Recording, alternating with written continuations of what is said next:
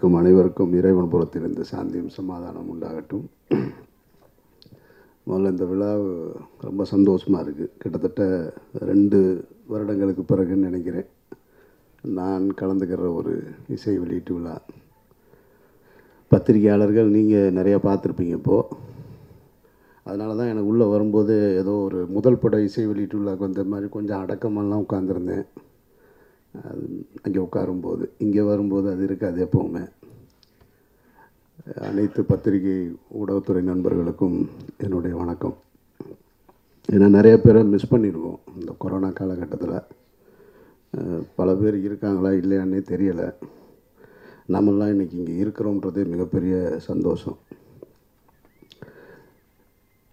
நிறைய சொல்லணும். ஒவ்வொரு எல்லாரையும் பற்றி சொல்லிக்கிட்டே இருக்கணும்.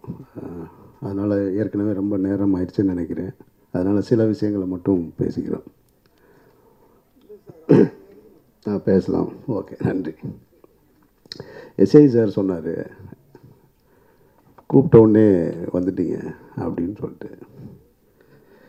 எஸ்ஐசி சாரை பற்றி எனக்கும் அவருக்குமான உறவு அவருக்கு ஞாபகம் இருக்க வாய்ப்பு இல்லை பட் எனக்கு இருக்கிறது. சட்டம் ஒரு இருட்டர் என்ற ஒரு திரைப்படத்தை ஸ்கூலில் படிக்கும்போது பார்த்தவன் நான். ஸ்கூலில் படிக்கும்போது பார்த்துட்டு பார்த்தது மட்டும் இல்லை ஒரு திரைப்படம் என்ன தாக்கத்தை ஏற்படுத்த முடியும் அப்படின்றதெல்லாம் இன்றைக்கி நம்ம பார்த்துக்கிட்டு இருக்கோம். சமீப கால திரைப்படங்கள் வந்து சமூகத்தில் எவ்வளோ பெரிய மாற்றங்களை ஏற்படுத்துதுன்னு. ஆனால் அன்றைய காலகட்டத்திலேயே சட்டம் அப்படின்ற வார்த்தையை வைத்து அதிக தலைப்புகளை வைத்து படங்களை இயக்கியவர் தான் எஸ்எஸ்சி சார்.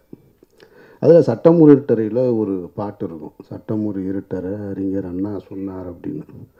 அண்ணா சொன்னார்ன்றதே அவர் படம் பார்த்து தான் எனக்கெல்லாம் தெரியும். ஏன்னா அண்ணாவுடைய புத்தகத்தெல்லாம் நான் படிக்கலை.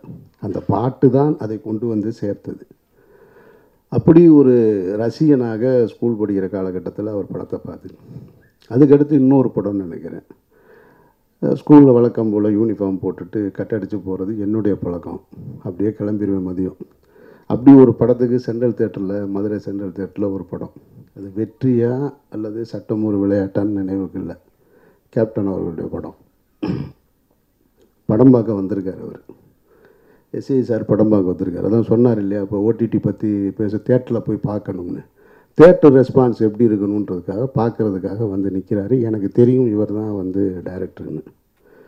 அப்போல்லாம் இன்ட்ரோல் விட்டாங்கன்னு சொன்னால் அந்த பெரிய ஒரு ஷோகேஸ் மாதிரி இருக்கும். கண்ணாடிக்குள்ளே வந்து அந்த ஸ்டில்ஸ் வச்சுருப்பாங்க ஃபோட்டோஸ் எல்லாம் இருக்கும். அதில் நம்ம பார்த்துட்ருப்போம் இதில் இது ஃபஸ்ட் ஹாஃபில் வந்திருக்கு இன்னும் இந்த இந்த சீன்லாம் செகண்ட் ஹாஃபில் வர வேண்டியது இருக்குன்னு. அப்படி பார்த்துக்கு இருக்கும்போது அவர் வந்து நின்றுட்டுருக்காரு பாக்கெட்டில் கைவிட்டு நிறைய பேருக்கு அவர் அடையாளம் தெரியல பட் எனக்கு தெரியும். அப்போ இருந்தே சினிமா மேலே கொஞ்சம் ஆர்வம் இருக்கிற காரணத்தினால சாட்சி. நான் போய் எண்பத்தி மூணு. ஏன் எண்பத்தி மூணு தானே சார் ஆ. அவர் கை பிடிச்சி பேசுகிறேன் நான். சார் நீங்கள் தானே டேரக்டர் அப்படி பார்க்குறாரு சின்ன பையன். ட்ரௌசரோட யூனிஃபார்மோட அவருக்கு ஞாபகம் இருக்காது. சார் நீங்கள் தான் டேரக்டர் படம் நல்லாயிருக்கு சார் அப்படின்ட்டு போயிட்டேன். இனி அதுக்கப்புறமா இங்கே சென்னைக்கு வந்து இப்போ சினிமாலாம் எடுத்ததுக்கு பின்னாடி அதுக்கு பின்னாடி ராம் முடிச்சுட்டு நான் போய் அவருக்கு வந்து ஒரு கதை சொல்கிறேன் இளைய தளபதி விஜய்க்காக ஒரு கதை சொல்கிறேன் அவர் வீட்டில் பார்த்து கதை சொல்கிறேன் அதுக்கப்புறமா அவர்கிட்டையும் சொன்னேன் நான். அப்போ அவரை பார்க்குறேன் நான். அப்போ ஒரு படம் எடுத்துகிட்ருக்காரு முத்தம்னு ஒரு படம் அப்போ தான் ரிலீஸ் ஆகுதுன்னு நினைக்கிறேன். அப்போது அவரை பார்க்குறேன் அதுக்கு பின்னாடி ரெண்டாயிரத்தி நான் அவரை எப்படி அவரை ட்ராவல் பண்ணிக்கிட்டேன். அதுக்கப்புறமா யூனியனில் இருக்கும்போது பெப்சியில் இருக்கும்போதெல்லாம் அவர் ஆஃபீஸில் போய் சண்டையெல்லாம் போட்டிருக்கேன். அது வேறு. எனக்கும் அவருக்கும் நிறைய நடந்திருக்கு. அந்த ரெண்டாயிரத்தி பத்தில் வந்து அந்த எலெக்ஷன் முடிகிற டைம் எலெக்ஷன் வரப்போகிற டைமில் அந்த பீரியடு முடிகிற டைமில் ஒரு நாள் இதே போல் கேட்குறாரு எங்கே சார் இருக்கீங்க? அவர் சார்ன்ற தவிர எதுவுமே சொல்ல மாட்டார். இந்த சின்ன ஆள் பெரிய ஆள் இல்லை இந்த மரியாதையோடு அவர் கூப்பிடுறது. அப்போ கூப்பிட்டு என்னை வந்து ஒரு படம் பண்ணணும் சார் அப்படின்னு என்னோட அப்போ நான் யோகி பண்ணிக்கிட்டு இருக்கேன். என்னோடய ஆஃபீஸ்க்கே வந்துட்டார். எங்கே இருக்கீங்கன்னு கேட்டு. இந்த இங்கே இருந்தது சாலிகிராமத்துக்குள்ளே. அங்கே வந்துட்டு சார் ஒரு படம் பண்ணணும். உடனே டேட்டு வேணும் சார் அப்படின்ற ஒரு நாற்பது நாள் டேட்டு சார் உடனே நாற்பது நாள் கொடுக்க முடியாது சார். இந்த யோகி ஷெட்யூல்லாம் போயிட்டுருக்கு. ஒரு இருபது நாள் இருபது நாள் வேணால் தரேன்னு. அப்படின்னா இல்லை சார் நான் உடனே போகணும் உடனே எடுத்து முடிக்கணும். ரிலீஸு மூணு மாதம் தான் இருக்குது எலெக்ஷனுக்கு மூன்றரை மாதமோ என்னமோ இருக்குது நான் அதுக்குள்ளே பண்ணியே ஆகணுன்றாரு எப்படி சார் மூன்றரை மாதத்தில் பண்ணுவீங்கன்னா? சார் அதெல்லாம் நீங்கள் அதை பற்றி கவலைப்படாதீங்க. அதெல்லாம் நான் பண்ணுறேன் இல்லை சார் கோச்சுக்காதீங்க சார். பண்ண முடியாது சார். அவர் அதை பற்றிலாம் கவலைப்படலை. நீர் இல்லாமல் போ படம் நான் எடுக்கணும்னு முடிவு பண்ணிட்டேன்னு தான் அதுக்கப்புறம் சத்யராஜ் சார் பண்ணாரு சட்டப்படி குற்றம். எடுத்து ரிலீஸ் பண்ணிட்டார். அப்பவும் அவரை பார்க்குறேன் நான். எங்கேருந்து பார்த்துட்ருக்கேன் பாருங்கள் நான். இப்போது இந்த கொரோனாவுக்கு முன்னாடி இதில் தரமணி ஆ எம்ஜிஆர் ஃபிலிம் சிட்டியில் நாற்காலி ஷூட்டிங் நடந்துகிட்ருக்கு. நான் வந்து கேரவனில் இருக்கேன் சார் நான் ஷூட்டிங்கில் இருக்கேன்னு தெரிஞ்சு வந்துட்டார் கேரவனுக்கு. தொழுதுட்டு இருந்தேன் ஏன்னா ப்ரேயரில் இருந்தேன் மதியம். உடனே வந்துட்டு போனார். யார் வந்தார்னு கேட்டால் அவன் எனக்கு இருந்த எங்கள் எனக்கு இருந்த மேக்கப் மேன் வந்து பாம்பேக்கார பையன். அவருக்கு அவர் தெரியல. அப்புறம் இன்னொரு அசிஸ்டன்ட் சொல்கிறான் எஸ்ஐ சார் தான் வந்தார்னு நினைக்கிறேன் நான். அப்புறம் நான் எங்கே இருக்கான்னு தேடி போய் பார்த்தா பக்கத்தில் ஷூட்டிங் பண்ணிகிட்டு இருக்காரு. கனி வேற நடிச்சிட்ருக்கேன் நான் அவர் அப்படியே பார்க்குறேன் நான். எவ்வளோ எனர்ஜியோட நின்று வேலை செஞ்சுக்கிட்டு இருக்காரு அவர் அப்படியே பார்க்குறேன். எங்கேருந்து நம்ம பார்த்துக்கிட்டே இருக்கோம் இன்னமும் இவர் இந்த சினிமாவில் எப்படி பயணிக்க முடியுது அப்படின்றது தான் மிகப்பெரிய ஆச்சரியம். அந்த ஆச்சரியமும் நீங்கள் பண்ணின அந்த பயணமும் நீங்கள் போட்ட பாதையும் தான் உங்களுக்கான மரியாதை. அது சாதாரண விஷயம் இது. நீங்கள் ஒரு பெரிய வார்த்தையை இங்கே வந்து உபயோகப்படுத்திட்டீங்க. உங்கள் பக்கத்தில் என் பக்கத்தில் உட்காந்துருக்கிறதுன்னு நான் உங்கள் பக்கத்தில் உட்காந்தது எனக்கு இறைவன் கொடுத்த வரமாக நான் பார்க்குறேன் நான்.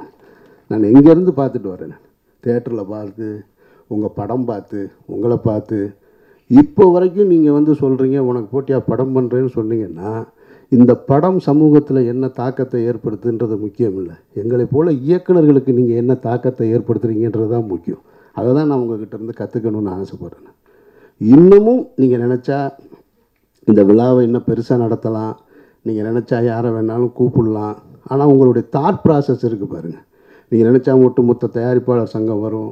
உங்களால் பயன்பெற்ற இயக்குனர்கள் லிஸ்ட் இருக்குது அவர்களை எல்லாரையும் அழைக்கலாம் நீங்கள் கூப்பிட்டா வருவாங்க. ஆனால் நீங்கள் என்ன நினைக்கிறீங்கன்னா இந்த படத்தை இப்படி தான் நான் ஆடியோ ரிலீஸ் பண்ணணுன்றீங்கல்ல அதை உங்ககிட்ட இருந்து நான் கற்றுக்கிறேன் அந்த கற்றுக்கிறதுனால தான் நீங்கள் தேடி வர வேண்டியதில் நாங்கள் வர்றோம். இது இன்றைக்கி நாங்கள் இந்த சினிமாவில் நானும் கனியோ ஆயிரம் பேர் இருக்கலாம் சார். ஆனால் எங்களுக்கு இந்த சினிமாவை இலகுவாக்கி தந்தது உங்களை போன்ற மூத்தவர்கள் தான். நீங்கள்லாம் இல்லைன்னா நாங்கள் இல்லை. அந்த மரியாதை எப்பொழுதுமே எனக்கு யாருக்கு கிடைக்கும் சார் இந்த வயசில் இப்படி ஒரு வாய்ப்பு? ஸ்டார் மேக்கர்ஸ்னு நீங்கள் போட்டிருக்கீங்க. நீங்கள் சூப்பர் ஸ்டாரே மேக் பண்ணிவிட்டு சத்தம் இல்லாமல் உட்காந்துருக்கீங்க நீங்கள் அதனால் உங்களுடைய சாதனையை வந்து அளவிடவே முடியாது. எங்களை மாதிரி படம் எடுக்கிறதுக்கு நூறு பேர் வருவாங்க. ஆனால் எவ்வளவு காலம் இந்த துறையில் இந்த சினிமாவை நேசித்து இருக்கோன்றது தான் ரொம்ப முக்கியம். அந்த அடிப்படையில் என்றைக்குமே நீங்கள் எங்களுக்கு எங்களை விட நல்ல ஒரு இமயமலை அளவுக்கு உயர்ந்த இயக்குனர் தான் அதில் மாற்று கருத்தே கிடையாது. எப்படி மூன்று எழுத்துன்னு உங்களை அறிமுகப்படுத்தும் போது சொன்னாங்களோ அதுபோல் எம்ஜிஆர் சிவாஜி ரஜினி கமல் அது மாதிரி எஸ்ஏசின்ற மூன்று எழுத்தும் தமிழ் சினிமாவில் ஒரு ஐக்கான் தான். அது அவ்வளோ சீக்கிரம் அழிச்சிட்டு போயிட முடியாது. இப்போ நீங்கள் பேசும் பொழுது இங்கே நிறைய பைபிள்லேருந்து கோட் பண்ணிவிட்டு யார் தப்பாக எடுத்துக்காதீங்க தப்பாக எடுத்துக்காதீங்கன்னு சொல்லி. எதுக்கு சார் தப்பாக எடுக்கிறாங்க? நீங்கள் கோட் பண்ணுங்கள் இந்திய அரசியலமைப்பு சட்டம் உங்களுக்கு அந்த உரிமை வழங்கியிருக்கு. அதனால் நீங்கள் பேசலாம். இந்த நாட்டில் விரும்பியவர்கள் விரும்பிய மதத்தை பின்பற்றலாம் மத பிரச்சாரம் பண்ணலாம் எது வேணாலும் செய்யலாம். அதனால் தப்பாக எடுத்துக்கிறதுக்கு ஒன்றும் இல்லை. நீங்கள் எந்த இடத்துல வளர்ந்தீங்களோ அதை உங்களுக்கு சொல்கிறீங்க இன்றைக்கு சமூகத்தில் வந்து பாரத பிரதமர் பேசுவதை வந்து கோயில்கள்லாம் ஒளி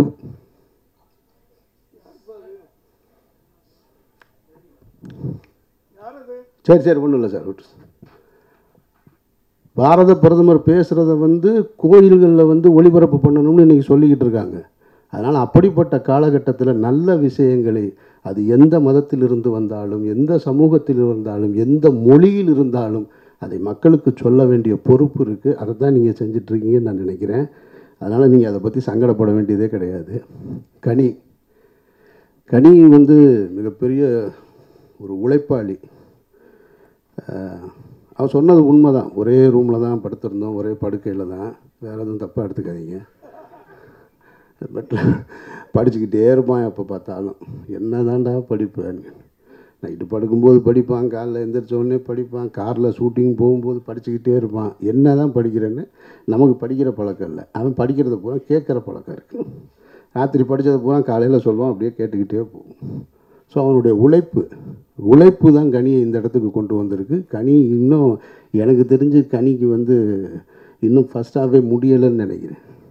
உன்னோட கேரியர் அவ்வளோ தூரம் இருக்குது ஏன்னா இன்றைக்கி யாரை கேட்டாலும் தெலுங்கில் கேட்டால் ஆந்திராவில் கேட்டால் யார் கேட்டாலும் கனி இருக்கார் கனி இருக்கார் கனி இருக்கார். பெரிய பெரிய ஹீரோ மகேஷ் பாபு கூட இருக்கார்.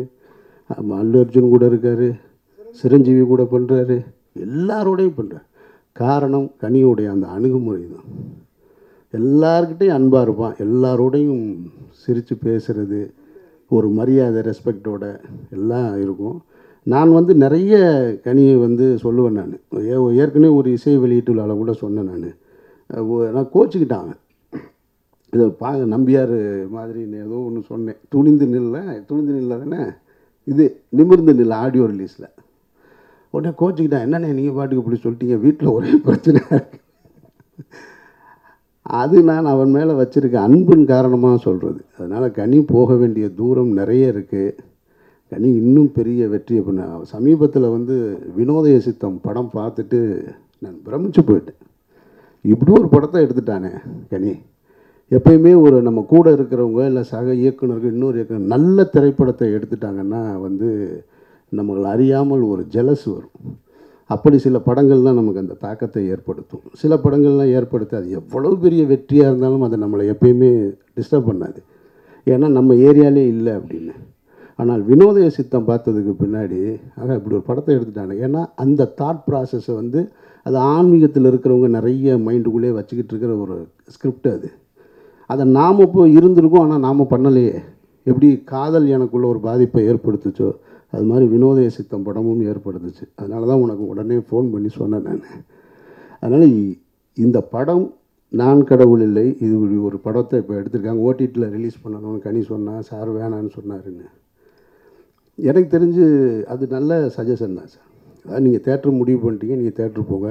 ஏன்னா ஓடிடியில் ரிலீஸ் பண்ணால் அது போய் சேராது அப்படின்லாம் கிடையாது. இன்றைக்கு ஓடிடியில் ரிலீஸ் பண்ணப்பட்ட படம் ஜெய்பீம் தான்.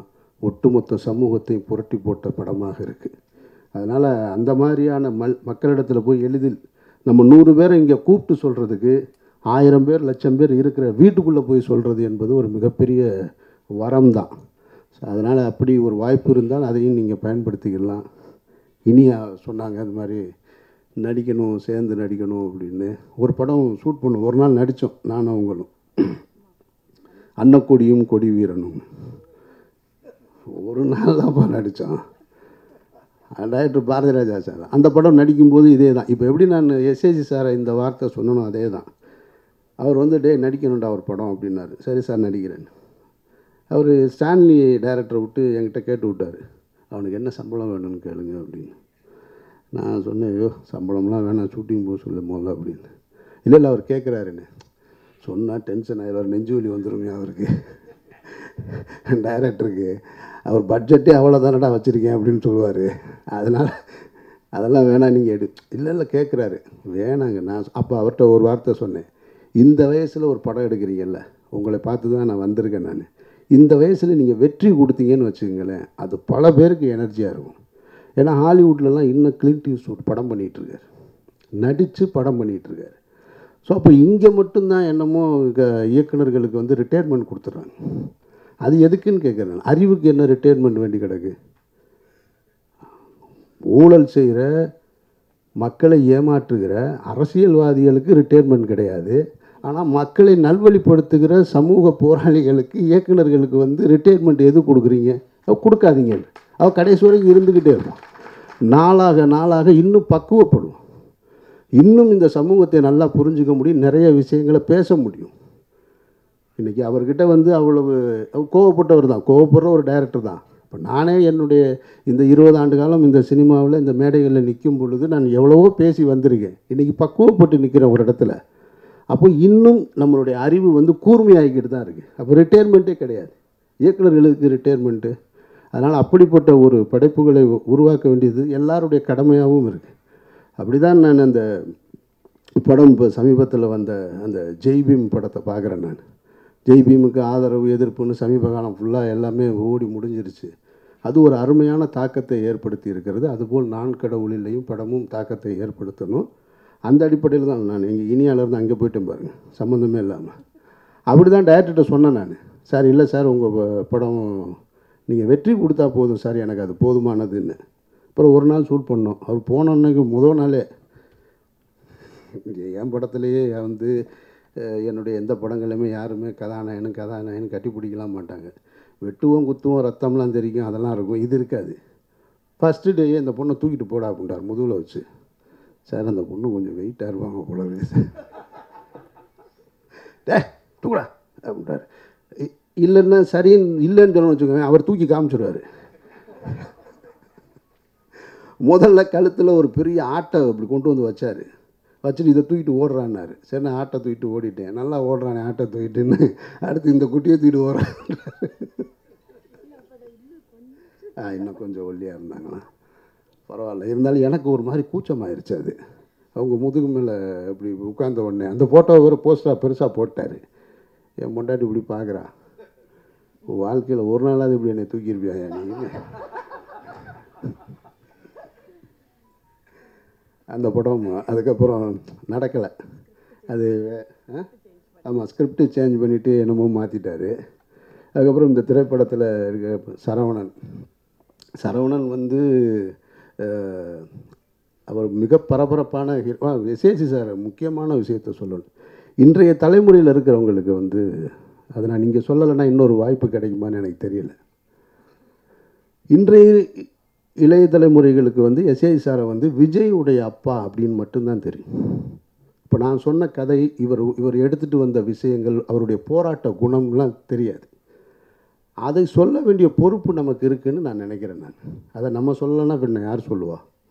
அதிமுக ஆட்சியில் இங்கே இருக்கும் பொழுது அதிமுக ஆட்சியில் இருக்கும் பொழுது கலைஞர் அவர்களுடைய வசனத்தில் படம் எடுக்கிறது அப்போ என்ன ஒரு தாட் வேணும் அவருக்கு? கலைஞர் அவருடைய வசனத்தில் எடுக்கிறாரு. அப்போ ஏதோ ஒரு வழக்கு அது எந்த வருஷம்னு எனக்கு நினைவில்லை. அரெஸ்ட் பண்ணி உள்ளே இருக்காங்க. கலைஞர் அவர்கள் அரெஸ்ட் பண்ணி ஜெயிலில் இருக்காங்க. இவர் கலைஞர் வசனத்தில் வெளியே ஷூட்டிங் பண்ணிக்கிட்டு இருக்கார். கலைஞர் நீதிக்கு தண்டனை. டயலாக் பேப்பர் டெய்லி ஜெயிலில் போய் வாங்கிட்டு வருவார். இந்த வரலாறு எத்தனை பேருக்கு தெரியும்? அவர் ஒன்றும் சாதாரண ஆள் கிடையாது. வெறும் ஒரு ஹீரோவை மட்டும் உருவாக்கின ஒரு ஆள் கிடையாது. இந்த சமூகத்துக்கு அநீதிக்கு எதிராக தொடர்ந்து போராடிக்கிட்டு இருந்த ஒரு முக்கியமான இயக்குனர். எவ்வளோ பேருக்கு சார் தைரியம் வரும்? ஜெயிலில் போய் கலைஞர்கிட்ட சந்தித்து இதே போல தான் வந்ததுக்கப்புறம் ஷூட்டிங் வச்சுக்கிறோம் அப்படின்லாம் கிடையாது. அங்கே போய் பேப்பரை வாங்கிட்டு வந்து அந்த டயலாக் எடுத்து. அப்போது எவ்வளோ பெரிய ஒரு சாதனை இப்படி இப்படி ஒரு சாதனையை தமிழ் சினிமாவில் எனக்கு தெரிஞ்சு யாரும் பண்ணியிருக்க வாய்ப்பே கிடையாது. அதனால் உங்களை எப்பொழுதுமே வந்து நீங்கள் உயர்வான இடத்துல தான் இருக்கணும். உயர்வான இடத்துல தான் இருக்கீங்க. இன்னமும் நீங்கள் ஓடிக்கிட்டே இருப்பீங்க. எப்பொழுதும் எங்களுடைய நன்றி தான் உங்களுக்கு. வாழ்த்து பாராட்டுலாம் கிடையாது. எங்களுடைய நன்றி உங்களுக்கு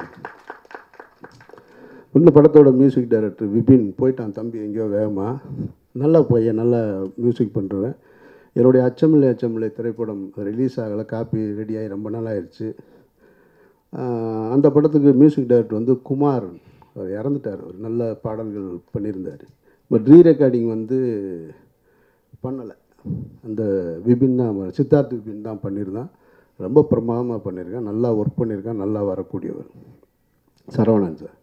சரவணன் வந்து அப்போவே அவர் சொல்லுவார் என்கிட்ட சார் கண்டினியூவாக ஒரு இருபத்தஞ்சி படமோ இருபத்தாறு படமோ ஹீரோவை பண்ணேன் சார்.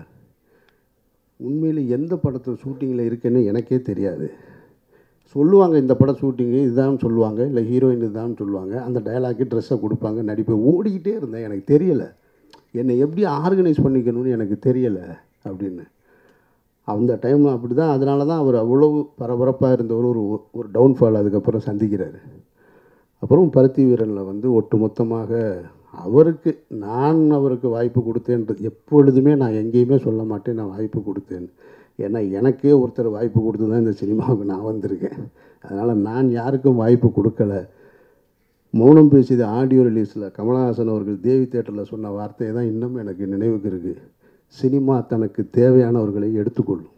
அது தானாக எடுத்துக்கிறோம். அதுக்கு யாரும் யாருக்கும் வாய்ப்பெல்லாம் கொடுக்கவே முடியாது. தனக்கு தேவையானதை அதை எடுத்துக்கிறோம்.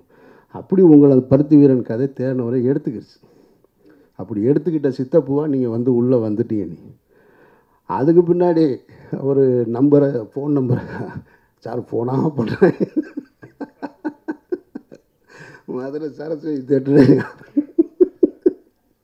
யாரோ பாத்ரூமில் ஒரு ஃபோன் நம்பரை எழுதி போட்டாங்கண்ணா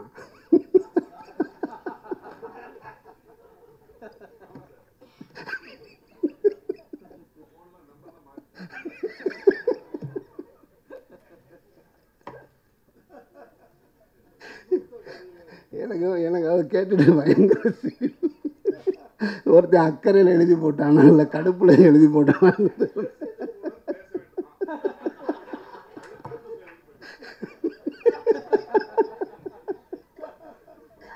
அதை ரொம்ப சீரியஸாக வந்து சொல்கிறாரு சார் சரஸ்வதி தேட்டர் கக்கூத்தில் எழுதி போட்டு.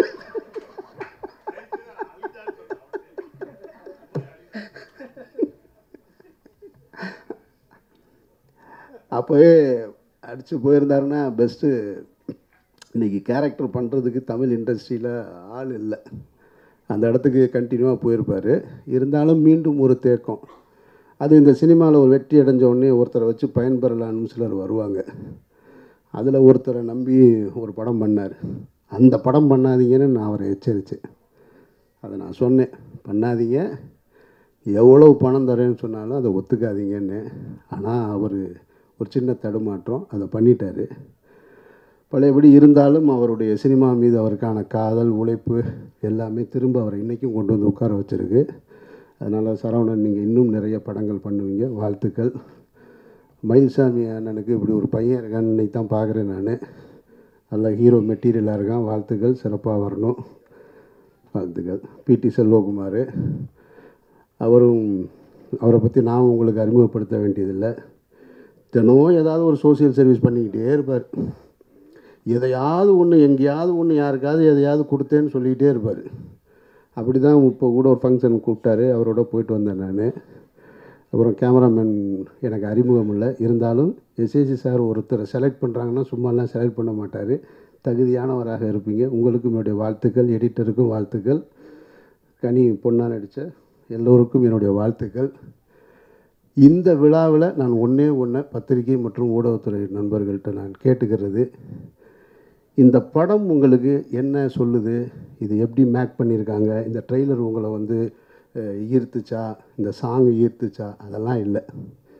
இந்த காலகட்டத்தில் இப்படி ஒரு படத்தை எடுத்து சொந்தமாக எடுத்து இயக்குனர் ஆகி அப்படி வந்து உட்கார்ந்துருக்கிற அந்த எஸ்ஏசின்ற ஒரு மனிதர் உங்களை ஈர்த்திருப்பார்.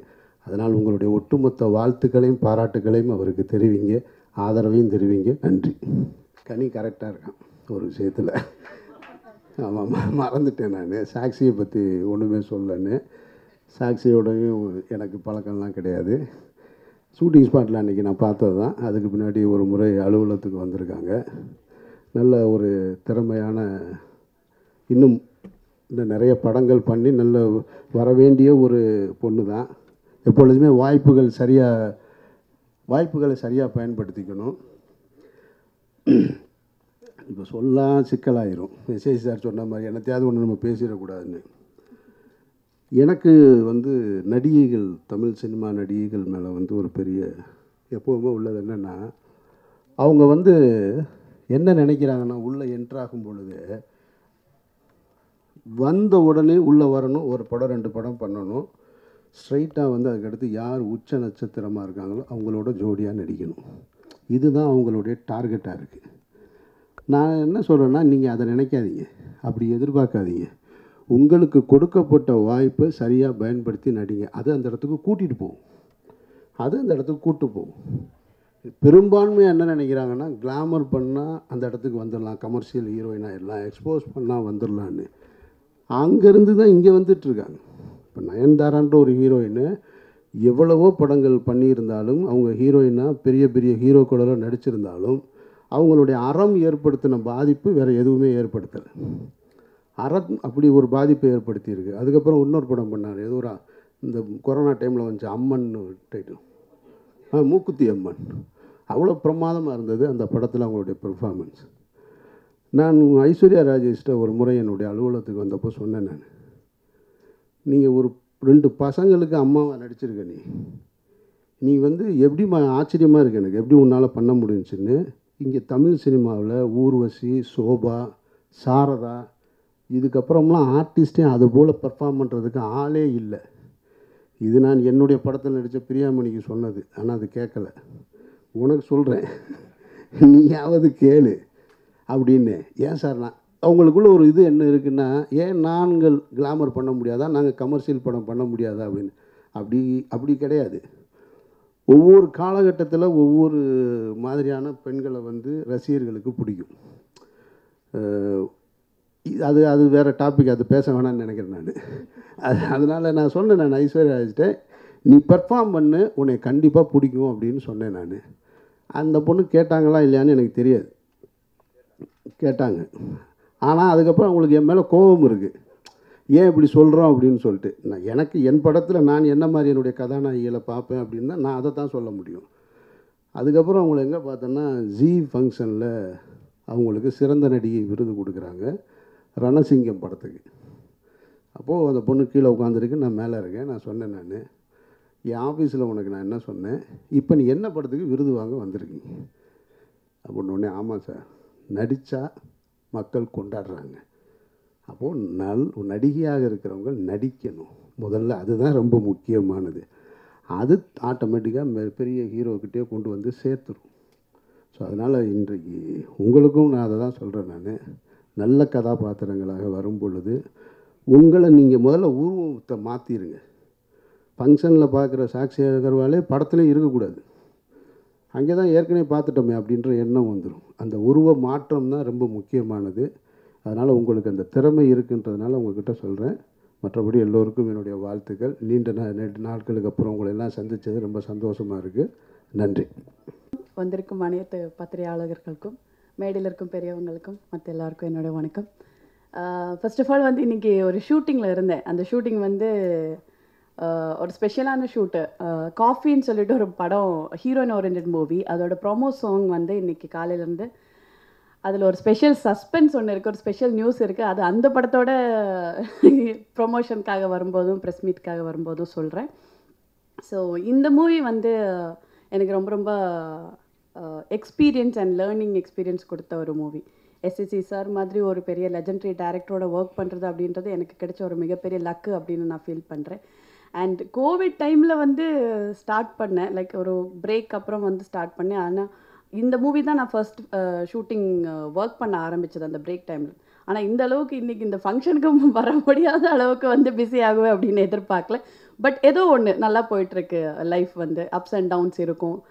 நிறைய மாற்றங்கள் இருக்கும். கோவிட் டைமில் நிறைய பேருக்கு நிறைய ரியலைசேஷன் வந்திருக்கு அப்படின்னு நான் ஃபீல் பண்ணுறேன் ஸோ சினிமா வந்து திருப்பி நல்லபடியாக வந்துட்டுருக்கு அப்படின்னு நினைக்கிறேன். இந்த படம் வந்து உங்களோட எல்லாரோட சப்போர்ட்டில் வந்து சக்ஸஸ் கொடுக்கறதுக்காக உங்கள் எல்லாரோட சப்போர்ட்டும் ப்ரேயோஸும் தேவை. அண்ட் கூட நடித்து எல்லாருக்கும் வந்து தேங்க்ஸ் சொல்லிக்கிறேன். ஏன்னா வந்து ஒவ்வொரு சீக்வன்ஸும் நான் ஒர்க் பண்ணும்போதும் ஒவ்வொரு விதமான அனுபவம் ஒவ்வொரு படமும் வந்து டிஃப்ரெண்ட்டான ஃபீலிங் தான் கொடுக்குது. அண்ட் கனி சாரோட ஒர்க் பண்ணுறது வந்து மூணாவது தடவை. சாரோட ஃபஸ்ட்டு டைரக்ஷனில் ஒரு மலையாள படம் பண்ணியிருந்தேன். அண்ட் இந்த படம் வந்து அவரோட சேர்ந்து நடிக்கிறதுக்கு ஒரு வாய்ப்பு கிடச்சிது. அண்ட் நாங்கள் ரெண்டு பேரும் போட்டி போட்டு வர நடிச்சிருக்கோம். And very very supportive motivational கொடுக்குறதா இருக்கட்டும் அட்வைஸ் பண்ணுறதா இருக்கட்டும் நிறைய விஷயங்கள் சஜஷன் கொடுக்கறதுக்காக இருக்கட்டும். ஆஸ் அன் ஆர்டிஸ்டாக மட்டும் இல்லை ஒரு கோஸ்டாராக மட்டும் இல்லை ஒரு பர்சனலாக நிறைய விஷயங்கள் வந்து லைஃப்பை பற்றியாக இருக்கட்டும் கரியர் பற்றியாக இருக்கட்டும் நடிப்பை பற்றியாக இருக்கட்டும் எல்லாமே வந்து சப்போர்ட் ப பண் பண்ணுற ஒரு ஆள். அண்ட் அமீர் சார் இன்றைக்கி கெஸ்ட்டாக வந்திருக்காங்க. அமீர் சாரோட ஒரு படம் பண்ணுறதுக்காக வாய்ப்பு கிடைச்சது பாரதி ராஜா சாரோட படத்தில். ஸோ மிஸ் பண்ணிட்டோம். ஸோ இன்றைக்கி இந்த ஃபங்க்ஷனில் வந்ததுக்கு ரொம்ப ரொம்ப நன்றி சார் அண்ட் இந்த படத்துக்கு உங்கள் எல்லாரோட சப்போர்ட்டும் தேவை. அண்ட் எல்லா கேஸ்ட் அண்ட் க்ரூ மெம்பர்ஸ்க்கு எல்லாருக்கும் நன்றி சொல்கிறேன் தேங்க்யூ தேங்க்யூ ஸோ மச்